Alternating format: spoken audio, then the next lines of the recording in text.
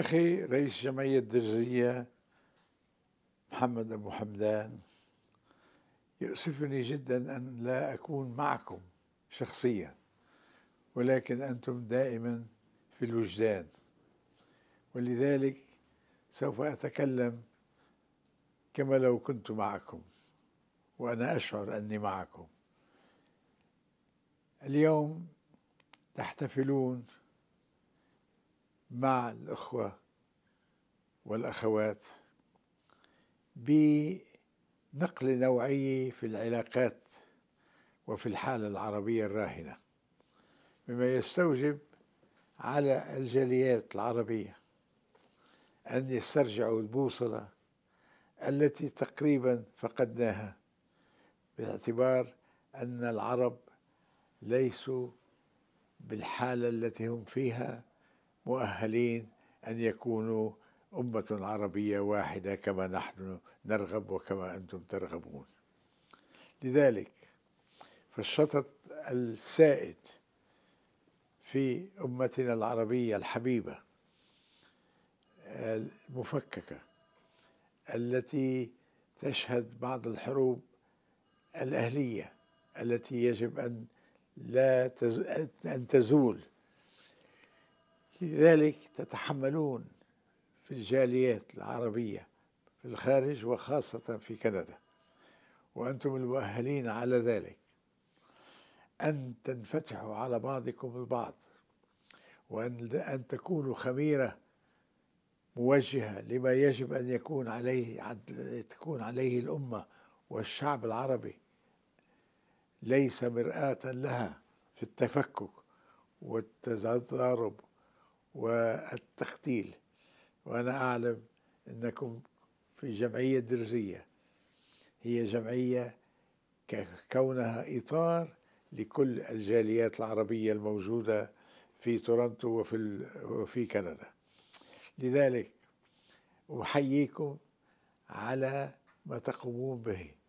أنتم خميرة لما يجب أن يكون في الأمة التي نحن منها. لذلك هذا هذه المسؤولية. تتطلب الوعي على وحدة المصير تتطلب السعي والعمل على التنسيق الملزم فيما بينكم. كل الجاليات العربية من المغرب إلى المشرق.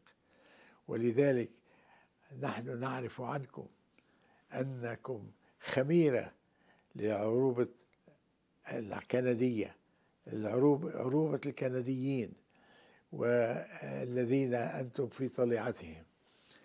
نحن نعيش اليوم حالة لم نختبر مثلها منذ زمن طويل ونرجو أن لا نختبرها أيضا وأن نستمر في الاختبار التي نحن فيها. لذلك آه، أعتقد أنني أنا صدى لوحدتكم. أنا أريد أن أكون معكم بكل بكل جوارحي إلا أنني كنت كما تعلم كما يعلم البعض أنني لا أستطيع أن أذهب أسافر في المرحلة الراهنة ولذلك عندما أستطيع ويسمح لي الأطباء أن أكون أن, أن أسافر سوف تكون أول محطة لي للسفر لديكم وعندكم. كوني وإذا سمحتم لي بعاطفة أنا جديد مشتاق لكم إلى إلى حد كبير لذلك إذا ماذا يجب أن نفعل؟ أن نفعل أن نؤكد على عروبة المصير وأن المواطنة وليس الانتماء الطوائفي هو المقياس لاستقامة الأوضاع العربية ومن هنا أرجو أن تكونوا نموذج وخميرة لما يجب أن يكون عليه بلادنا أن تكون عليه بلادنا وأمتنا. واسترجاع البوصلة يبدأ باسترجاع الالتزام بالقضية الفلسطينية. وكما كانت في الماضي من المشرق إلى المغرب كانت فلسطين هي البوصلة التي توحدنا. هي المسؤولية التي يجب أن نتحملها. ولكن ما دمنا نتفرق وما دامت المعاهدة مع إسرائيل من قبل الدولة الكبرى العزيزة على قلوبنا كل جميعنا ومصر علينا أن نعمل في هذه الظرف على أن نجعل من مصر تتخلى لتوفر هي لنا البوصلة التي تستحقها. وفي هذا المجال يجب أن نترحم اليوم على شخصيتين بارزتين آه، توفيا واحد والثاني. الأمين العام للأمم المتحدة آه، بطرس بطرس غالي الذي آه، توفاه الله وكان من أنجح الأمناء العامين للأمم المتحدة وكان مشرفا على جميع الاحتفالات والاجتماعات التي حصلت في يده عن البيئة والشخصيات الإنسانية population والفقر. وحقوق الإنسان. كل هذه المؤتمرات التي حصلت بإشرافه وبمبادرته أثرت الأمم المتحدة ومسؤولياتها. أما الشخصية الثانية فهي الأستاذ الكبير حامل لواء العروبة الحضارية محمد حسنين هيكل. هذا الإنسان المهم الذي كان رفيق جمال عبد الناصر والذي أعطى الصحافة العربية مكانة دولية والذي آه، جعل من ما كان يكتبه في الأهرام كل يوم جمعة رسالة ترفع مستوى الإداء الأدبي في الصحافة وترفع مستوى المعنويات والأمل. ولذلك فهذه خسارة هذين الرجلين الكبيرين بطرس بطرس غالي ومحمد حسنين هيكل. ننعيهم وأرجو أن تقفوا ولو لمدة ثانيتين احتراما لرحيلهم. وفي سوريا نجد أن الأمم المتحدة تقوم بواجباتها على أكمل وجه إلا في الناحية التي تحاول أن توفق وتلحم وهذا بكل أسف مؤسف. ولكن المساعدات الإنسانية التي بدأت تأخذ مجراها في سوريا هي جزء مطمئن لنا.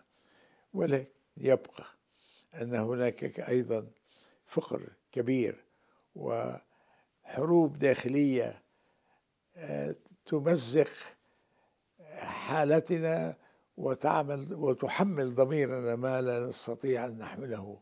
الحرب في البلد الفقير اليمن. الحرب الحروب الدامية التي تشهدها سوريا الانتفاضات المتعثرة في المرحلة الراهنة في فلسطين كل ذلك يحملنا في الخارج مسؤولية أن نكون نموذج لما يجب أن نكون عليه الأمة العربية وأعتقد أن شعوبها مستعدين لتقبل مثل هذا التوجه. أنتم في كندا في في حال في حالة متقدمة الآن نظرا للرئاسة الحكومة السيد ترودو الذي برهن عن انفتاح خاصة للاجئين الذي رحب بهم شخصيا وأعطاهم الجنسية الكندية فورا. وكان هذا دليل وجواب على أمثال آه، المرشحين الجمهوريين وخاصة ترامب وكروز الذين يرفضون ولا, ولا, ولا يرفضون أولا أن يستوعبوا لاجئين نتيجة البخل الذي يتميز والجنون الذي يتميز وسائلهم وطريقة اتصالهم. ومثل ترامب وكروز مثل ما مثل ما أشرت آه، في حين أن رئيس وزارتكم أدى واجبه بشكل ملهم هو والمستشارة الألمانية التي رحبت بأوائل الحالة بكل المهاجرين الذين نرجو أن يستطيع العدد الأكبر منهم أن يعودوا إلى بلادهم عندما تستقيم المعادلات الصحية والإنسانية والفكرية والسياسية في بلادنا إن كان في المشرق أو في المغرب وخاصة في مصر الحبيبة على قلبنا. لذلك الجمعية الدرزية في لم هي درزية لأن مؤسسيها كانوا دروز إلا أنها كانت الإطار الذي يجمع الجاليات الأخرى المسيحية والإسلامية الشيعية والسنية إلى آخره. يجمعهم كمواطنين عرب.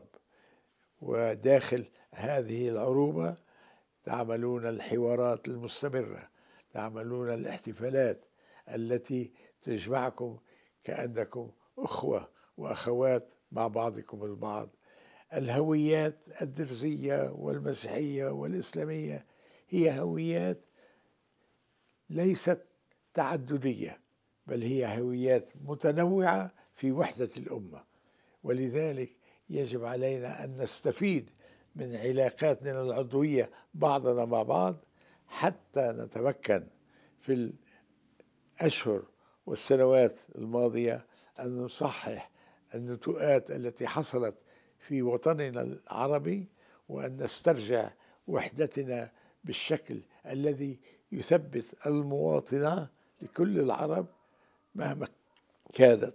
عناصرهم وطوائفهم لأننا نريد أن نتجاوز وأن نسترجع عوامل التي جعلت الحضارة العربية والإسلامية حضارة قيمة في التاريخ ولذلك يجب أن نعمل على استرجاع هذه المبادرات الفنية والثقافية والعلمية وأن نجعل من مدارسنا مدارس الوحدة الوطنية لكل الطلاب لأنهم في الأجيال القادمة يجب أن يحققوا الأمال التي لم نستطيع نحن بكل أسف أن نحققها في عصرنا الحاضر. لذلك أحييكم من القلب لأنني أولا لأنني مشتاق إليكم ثانيا لأنني أعتبر أن نموذج وتراث الجمعية الدرزية في تورنتو يجب أن تكون ثمرة حوار حوار بين بعضكم دائما لنموذج وأن لا تكونوا في حالة التقوقع بل شاركوا في صناعة القرارات الكندية آه، كمواطنين كنديين ومن أجل أن تصبح كندا أيضا حليفة للنهضة العربية القائمة ومن خلال مساعداتها وجامعاتها وإلى آخره ونموذجها. ولذلك أنتم اليوم مسؤولين بشكل واضح على أن تتجاوزوا أي خلافات وأن يكون ليس اجتماعكم هو تعدد الطوائف والأديان والتيارات بل التنوع هو الذي نحتفل به. ولذلك أنا أحييكم وأتمنى لكم النجاح في رسالتكم المطلوبة والمرغوبة وأن لا تكونوا في هذه الحالة المرآة للانقسام والتشرذم الحاصل في الوطن العربي. والسلام عليكم.